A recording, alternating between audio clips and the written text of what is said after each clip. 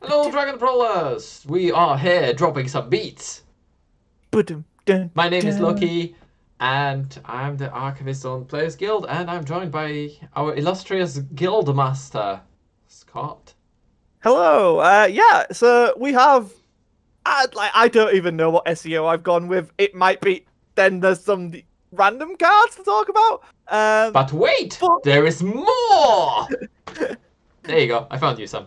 Yeah. Thank you. Um, I actually do. Before we get into these, I do like how the main sets are now introducing support for all the sets.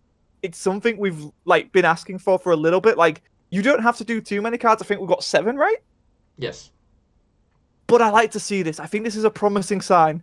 I would like to Um, up that number, and to be perfectly honest with you, I would prefer to have just one new leader introduced per color and just some support for the old one, because we have so many old decks that need, just beg for more support.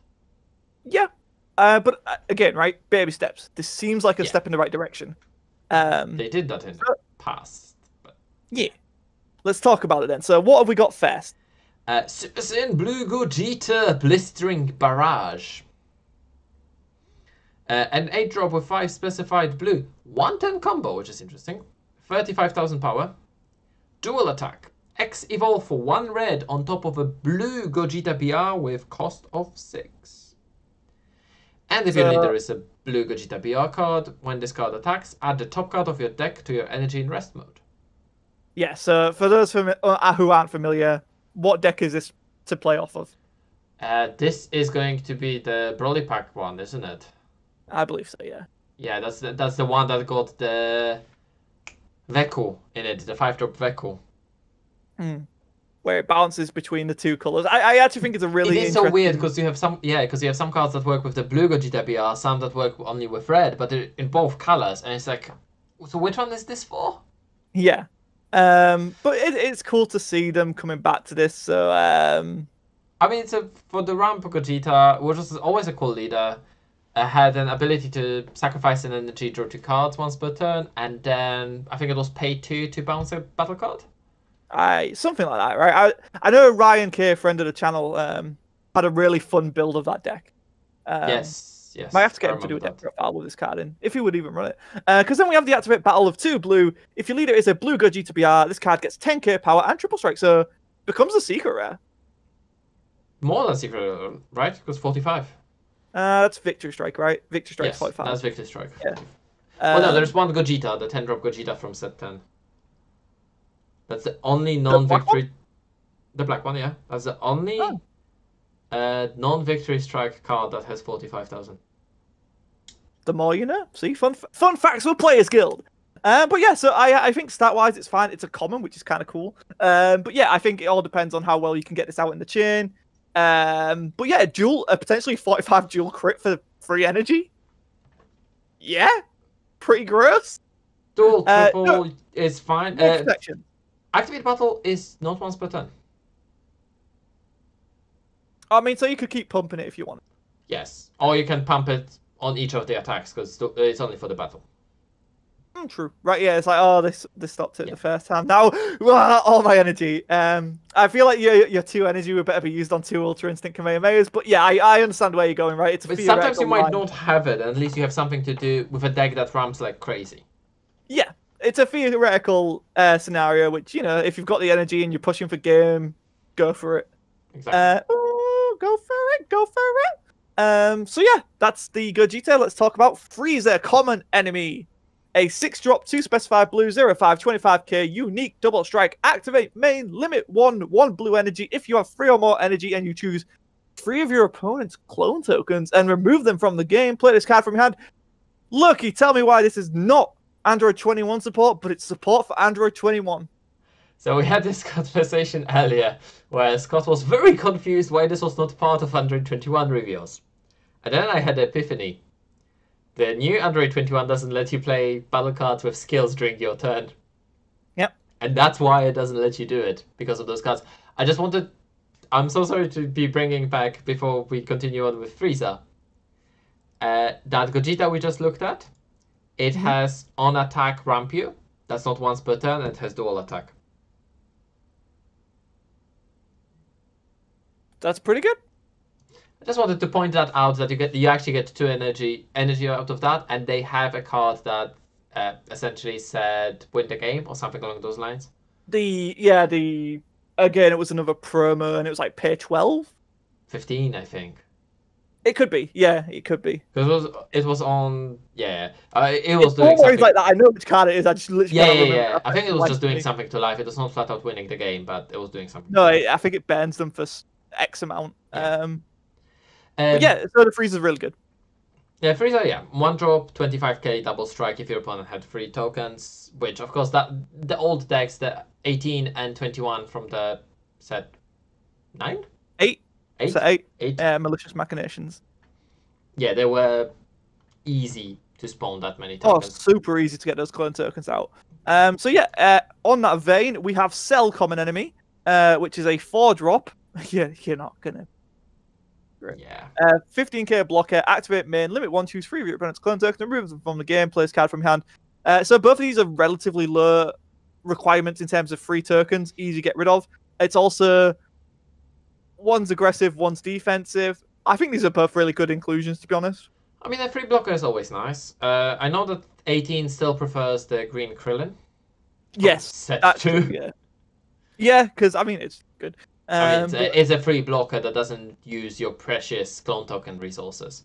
I think true. it's a very steep price for the free clone tokens. You think? I, I don't know. I feel like you could populate enough so that the free is good enough for that 25 double strike. I think the 25 common uh, enemy. spell- yeah, I, I can understand for the double strike. For the blocker, I'm not sure.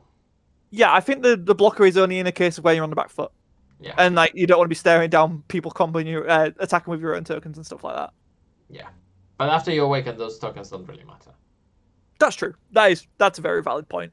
Uh, so I mean, this could be early game control, right? Um, because there's no energy restrictions, nothing like that. Uh, so yeah, uh, really cool. Uh, I think the Frieza is obviously the best out of two. I think that Frieza is actually very scary under the right circumstances. Um, But at least it is unique, so you can't keep on dropping Yes. them. at least it's unique. Uh, next up, we have a very interesting card: Dende and Porunga, the Third Wish. Take we needed to go back and actually read the cards specified in here because they're so old. Uh, yeah, I mean, we were talking like set three. Six, but yeah, Oh, never mind. it's still, you know, it's Well, Four set six ago. was basically a redo of set three for blue. eh, Yeah, it was because it was It Majin was. Buu and Goku Spirit Bomb redone. yeah, yeah, yeah. Uh, so this is for the Wish Goku leader, which was used in Scaffold Time uh, Storm for a while, because it was a blue Wish leader that could play Font of Power for free. Mhm. Font of Power, really powerful wish that for one energy plays a two drop from your blue Saiyan two drop from your drop. And it's very good reason I'm mentioning this because uh, one of the cards that is important for this card is actually a blue two drop that the whole thing was designed around that. That's the iteration of the Spirit Bomb, right? Mhm. Uh, so we don't have the cards to show you, but very quickly the leader uh, on the ultimate. So for removing seven Dragon Balls from your drop from the game, lets you draw two and untap two energy. And the two drop doesn't let you play any battle card. Doesn't let you play any battle cards that are not blue, and doesn't let you play multicolor. Which it was interesting that they were protecting against multicolor already. And gets five thousand power for each card underneath it. Has barrier. And once per turn, you can put the top card of your deck underneath it. If it has seven or more, it has triple strike. So it becomes 40k, triple strike. Pretty much Yeah, a I mean- secret. Yeah, I think it's a nice little. I, I don't I don't think it's going to make the deck meta in any way, but I think it's a cool little thing to see thrown back into. I honestly, I again, I come back to this. Like I really like set the that blue stuff. I think was a lot of fun. Like set six blue Buu was one of my favorite Yeah. decks in the game. It always has been, will continue to always will be. And the blue spirit bomb stuff from set three, I always really like that. And set six was going in the right direction. They did a bit of Potara stuff, which I wasn't super keen on, but like the actual spirit bomb stuff, it always is cool. I always like that. Oh, we're making a final push, and I really like how Bandai incorporate it. So seeing some support for it kind of gives me hope, right? Like the Bandai have been pretty good about legacy support recently. Um, So let's talk about I- what the card actually does, because we haven't yet. Oh, we've not actually, yeah, we just talked about the I, I just talked about because we needed to paint the picture of what's happening first. Yeah, so what does this card actually do and how does it help those cards? Let's talk. Let's, let's go. So it's a two drop, uh, fifteen thousand power. It's a god, which is interesting to mention actually. Oh, yeah, Shenron. Yeah, that no, was no. before then they became a god. I don't know why it has a god tag. Guys, yeah, uh, Shenron's considered gods. I don't. No, they're they not. Uh, per, it can't attack because it's a Shenron card. Activate main if your leader is that Goku, uh, which means Energy restored. you need to be awakened already, or wished. Sorry, it was wished, not awakened. And you need to rest this card. You draw one card. You choose up to one of your Goku Spirit Forger, which is the two drop we were talking about. And you look at the three cards from the top of your deck and place them under the chosen card. So you ramp up that ability. The fact that this card is not unique, you can have multiple of them on board, which is nice. The problem is that this card is not blue. Yeah. And Spirit Forger doesn't let you play something that's not blue Yeah. which means you need to play this, and then you need to play Spirit Forger, which you're supposed to do by using your leader to play Font of Power. Uh, so you play Font of Power, uh, you get the Goku back, you put one card underneath with Font of Power, one card with a Goku, three more cards uh, with Dende, and you're five cards. You're too short from getting that Yeah. from getting that triple strike. So which means you need to play another Dende and Porunga. But then you need to do it before you play that. Uh, I don't think there's a world where you would be protecting this, although 15k uh, body is quite nice. And you do draw a card when you do this. Uh, yeah, I think the draw really saves this card. Yeah. Um, uh, but I think you know, like like I said, like once you once you've got the utility out of it, it's a nice Z charge, right? It's a pretty easy Z charge once you've used it for it. Um, it is very specific uh cards that it's doing that for, which I also I kind of like that, right? Because I really like that. Um, it's going back in and finding these niche cards from a while ago that you know maybe gives them a new life. At least it gets people thinking about them. These cards, I can, I know for us at least, we never thought about these cards. Well, not never, but you know what I mean. Haven't thought about them in a long time, and so at least it's got us going back and going. Oh, that's that's kind of cool. And I, think mean- that's what it does, right? And I, I think that's It's a nice thing purpose. that they suppose they support the old wish leaders. They also supported the best blue wish leader there was. Mhm. Um, you know what this card would be? An amazing Mm-hmm. child's wish target. You know what's Child's Wish? It's banned. Sad, sad times. Sad Um, but yeah, sad uh, yeah, yeah, I can see it. Um, next up, Great Priest, Declaration of Annihilation. What a name! the fact that they support the Great Priest in here and in the tournament pack we know already Yes. Is just crazy because the deck was never really good. It was fun, but it was not good. Oh, oh, it was a very fun deck, but yeah, would I say like I would I take it to a tournament? Probably not. Uh, I probably Um, would. Uh, yeah, you would. um, but yeah, so let's go over it. It's an eight cost. It's a zero five. It's 30k power. Permanent. While there are four or more colors in your energy, this card is also treated as red, blue, green, and yellow. So, Has the rules on the would this be considered a multicolor card at that point? oh god, don't ask me that question. Because I don't know if the rules on that has changed. I can't remember. I can't remember for the life of me. When this card is played, it gains the following skills for the turn. I really, really like this kind of effect. Yeah, it only gives that busted effect once. Yeah. Um, so then activate main, limit one, pay one, activate the activate main skill of an uh, up to one erase the universe card in your hand. So it has to be in your hand, uh, but you pay one for it to activate it, which I think rather is cool. than I think it was five. That sounds right, but I'm not. Yeah, because it was one and uh, each of the colors. Yes. Um, so I that's really cool. And then activate main, one of each color. If your leader is a red great priest card, play this card from your hand, choose all of your opponent's battle cards, and send them to their warps. Doesn't get around barrier, but I think it's a pretty nice little effect. I mean, it's still fine because then you get that effect to use the Eraser Universe on top of the board wipe, which True. is nice. You still need to have the same cost as Eraser Universe, but you don't miss a turn there. And the Eraser Universe has indeed cost of 5, and you deal 1 damage to your opponent for every 2 colors on gold cards in your battle area. Mm-hmm. Which means that this card on its own means that you deal 2 damage. Because you have 5 colors on this. Yeah, right? Yeah. Yeah, that's actually really cool. Because then you still have your attacks, so yeah, that actually makes it quite interesting. And of course, Is if you have 12 or more multicolor gold cards in play, you win the game. That's why I was asking if this counts as a multicolor. Uh yes. Um is there a way to cheat this out? That's the question. I don't think so. Ah well. Uh, but it's still a cool card. I really like seeing this. Uh, I know we're both big fans of Great Priest anyway.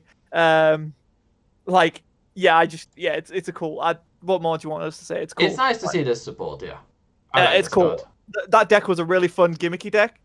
This kind of goes into it. Well, maybe there's something to it. Um, and also the fact that they're not moving away from this strategy kind of makes me really hopeful because again, it is a really fun strategy Yeah. to play around with. They're Um, supporting that main win condition that was given, which is Eraser Universe. Yeah, always a fan of when we go towards alt win cons and not Yeah. away from alt win cons. Except Mill, I hate Mill. We need more mill. no, no, disagree, hard disagree. Uh, you know what I don't disagree with? Nappa's full scale attack. It's the only rare on this list. Yeah, that's weird, right? Um, but yeah, it's a five drop, red green, one red, one green, one ten combo because it's multicolor. Energy exhaust, double strike, arrival, red green for one red. If it's your turn, when this card is played, choose up to three of your opponent's Earthlings and or Namekian cards, KO them for each card KO'd by this card's kill. It gains 5k power for the turn. So it can be Is 35k double strike. Yeah, I was very specific on the Earthlings and the Mechas. I think you can hit some Earthlings. I mean, it's an au- like you know. what I mean, this is a card that I think it's gone for the theme more so than Yes. Anything, It's a um, card that exists.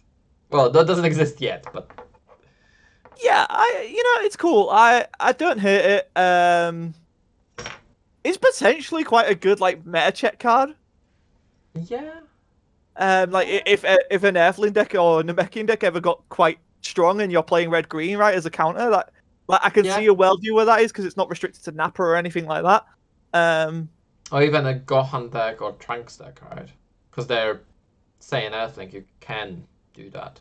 yeah, no, that's a good shout. Um, so I think there's potential in this card. Uh, I am always a fan of the red green Vegeta Nappa stuff. Like Yeah. every every time we see it, I'm Oh, the like. Vegeta's lineage deck that I knew never you were gonna the say that. I knew you were gonna say never that. got the payoff. Did not get a payoff, and I still don't understand why that was a thing. And No, maybe Bandai will tell us one day. I have no idea. Maybe we'll It, get the it- it just seems day. like one of those things that they were paying up for, and then maybe they were told, "Nah, we're not doing that now." And you know, sometimes that is how life goes. Um, but yeah, I, I it doesn't really work with the Cyberman strategy, but it's cool. Yeah, I mean, it's, a Um, support- it's a double striker, right? Yeah, Okay. yeah. uh, To be fair, one drop, twenty k double strike, right? That's not bad. Problem is that the five drop Gogeta does the same. Yeah, true. I think it's even 25, but yeah. Yeah.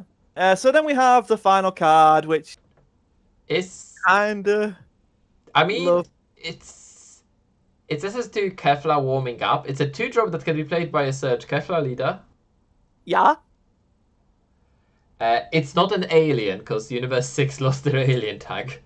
Uh, I'm, I'm, we're not just, we're just, we're just not going to talk about it. All right, I'm still sad. Okay. It's a two drop with one blue, one yellow, 15,000 power, one thing combo. Energy exhaust unique and the barrier. When she's played, you choose one. Either draw a card or choose one of your opponent's battle cards and switch it to rest mode. I mean, it's a cantrip on the unique. Eh. Activate main, one blue, one yellow, and one energy if your leader is Kefla, Surge of Ferocity. Oh, is that the Surge leader by any chance? Nah. Still, uh, set seven one. Is it? No, it's it's, it's There you go. and you place two cards from your hand at the bottom of your deck. Play up to one Meteoric Energy Kefla from your hand on top of this card. that that is the actual set seven one though. Damn. No, because I know all of the Surge leaders had Surge in their name. yeah, uh, Surge of Awakening, blah blah blah. Um, but yeah, no, me- meteoric meteoric energy Kefla is the set seven SR that got a really nice looking SPR. Um, It's also a fairly decent card. It's just difficult to bring out, isn't it? I, I so I'm torn on this. I love that we're getting support for the Surge leaders. I love that we're getting support for the Kefla Surge, which, as much as people, as, as much as I try and argue against it, was probably the weakest of the Surge leaders. Um, Mm. although it is probably the funnest out of them. And yeah, I just, I just don't think this does anything. I mean, you still need to draw your meteoric energy. At least you don't need to Union Potara it, but Union Potara, ah, it's fairly expensive. It's It the, has it's just- minus two from hand as well. Oh yeah, you need to. Uh, but I mean, that Kefla is interesting, right? Because it has barrier and Aegis blue yellow, and then Yeah. when you activate the Aegis, you rest free of your opponent's energy. which is good. Like it's a really strong effect. But But there's Yeah, a lot I- of decks that play with very small amount of energy, exactly right. Um, and usually I- in that situation they're just going to do their plays beforehand. is it cool? Yes, I think the cost is too high um, to warrant it being worth it. There are some fun little tricks with this card, but I don't. I just don't see it right. Like the whole reason I used to play Kefla Surge was so you could do the um, get that hit down to costing for nothing, and then they Yeah. changed the way cost worked. Um, Oh but yeah. you know, yeah, because I was like the funniest. I, I love that hit. Al always going to be loving that hit. Um, but I I kind of like trying to make it a Surge leader that actually works with Kefla as like a pure tribal Kefla thing. Um, I want to love this more than I do. I think is the sentiment I will end this on. Um, I don't think it's very good, but I hope it's a sign that th- they haven't forgot this deck, which gives me hope. Yeah, I mean that's that's a fair statement. There's a couple of decks that they were either reminded of or they just want to show that they haven't forgotten. I think that Surge Kefla could have been supported better. Yes, I, Like I, would not mind this cost if it played from the deck. yeah, uh, right. I actually agree with that. I think that's fine. Right, you pay you pay two, uh, so you pay three, and then you d- discard two to play it from your hand or deck. It puts the two at the bottom of your deck. So, sorry, okay, you put them at the bottom of your deck to go and yeah, like. Well, to be fair, you probably do it where it's like you play it on top of it, then you put the two back, right? Because then you're not shuffling them potentially back into the top of. Um, No, I mean something along those lines, but I think it's I- fine. yeah. I think by far the best card we got is going to be the Great Priest. Yeah, I think I I'd agree with that. Um, although I think Frieza's really good as well. Um, Frieza is good. but but but Great Priest is a lot more fun. I I'll, mean, I'll, I'll, Frieza is meta. Great Priest is fun. true, and we're all about fun here at Players Guild. Exactly. Um, so yeah, uh, are these cards good? I think they're fine. I don't think there's any real like th- this is a cool little bit of flavor added to the set that I kind of like, right? And I think if this is how we're gonna keep going going forward, I don't hate it. As you mentioned at the top of this video, I want to see a bit more. Like I, I would like it if this was maybe twenty cards.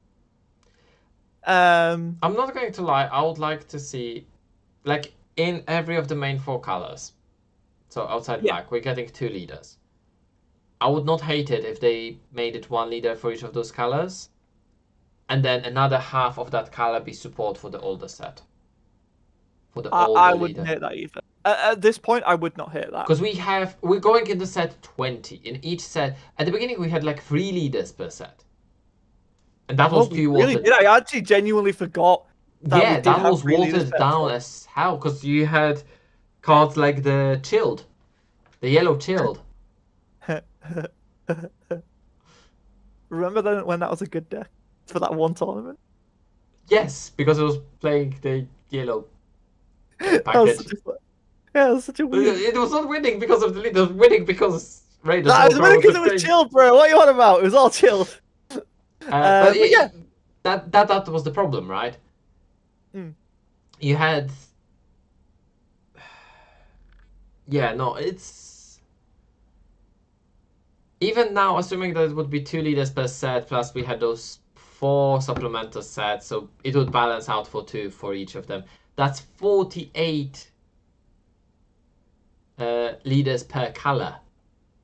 Hmm. That's over 200 leaders in the game. Yeah. We need a to start getting some support and something to bring them back. And I think one card is not going to make it. Especially Oh, if the I- I- card I is agree, in right. the main deck.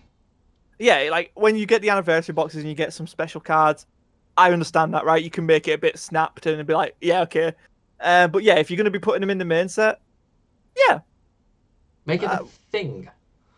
I think that's cool. Uh, guys, do you agree? Do you disagree? Let us know in the comments below. If you haven't already, Super Saiyan, smash that like button uh, or subscribe button as well, right? Because why not? Um, I've been Scott Sedman, your Guildmaster here at Players Guild, joined by Lockey Smith. Any final thoughts on these random cards that we have left? No, I'm looking forward to see what's in the tournament pack. Awesome. Then we'll see you next time.